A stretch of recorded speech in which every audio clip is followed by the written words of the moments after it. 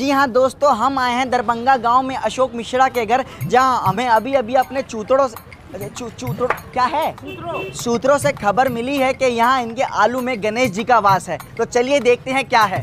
जी हाँ आप लोगों ने बिल्कुल सही सुना है आलू ने दूध पीना शुरू कर दिया है। देखिए कैसे इनके हाथ द्वारा आलू दूध पी रहा है। बहुत ही चौंका देने वाला सच है। मैं भी चौंक गया। चलिए आगे बढ़ते हैं। तो लोगों का ये भी कहना है कि आलू सिर्फ़ फुल क्रीम दूध पी रहा है। वो डबल टोन दूध क्यों नहीं पी रहा? अरे भैया, मार काहे रहे हो। नया ला देंगे अंडा, समेट देंगे उसको। अरे भैया, खींचो मत। लाइव है, ऐसे मत खींचो। ये खींचो मत। अरे भाई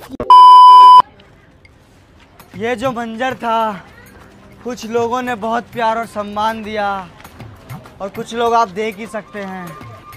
तो चलिए, अगली न्यूज़ की तरफ़ चलते हैं। कि कैसे एक गाय का अपहरण किया एक यूएफओ ने। कैमरामैन गौरव चौरसिया के साथ, मैं पंकज त्रिपाठी, कब तक?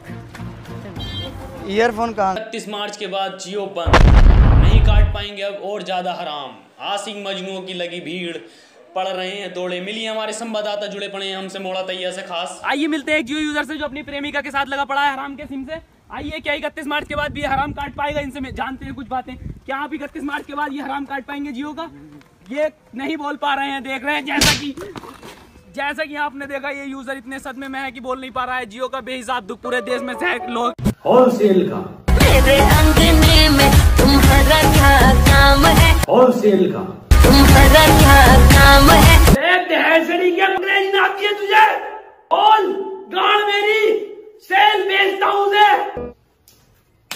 तेल चटाई का काम है मेरा।